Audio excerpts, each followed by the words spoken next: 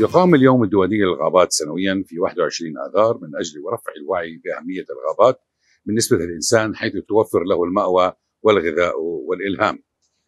ويعتمد 1.6 مليار من الأشخاص في العالم على الغابات في معيشتهم ودوائهم ووقودهم وموادهم الغذائية كما تغطي الغابات نحو 31% من اليابسة في العالم. أما في العراق فتتركز أشجار الغابات في العراق في الأقسام الشمالية منه وخاصة المنطقة الجبلية. ومجموع المساحة المزروعة في العراق تقدر بنحو 6 ملايين هكتار يقع 50% منها تقريبا في شمال العراق.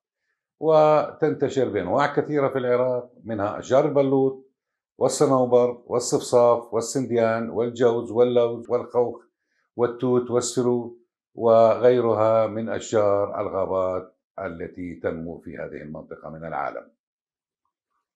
كما تنتشر غابات الأشجار في مناطق الأودية الصخرية فتكثر فيها أشجار التفاح والجوز والكستناء والتين البري وأشجار الدردار والبندق واللوز وشجرة لسان الطير وشجرة الكمثرى التي تستعمل للأدوية الطبية وغيرها.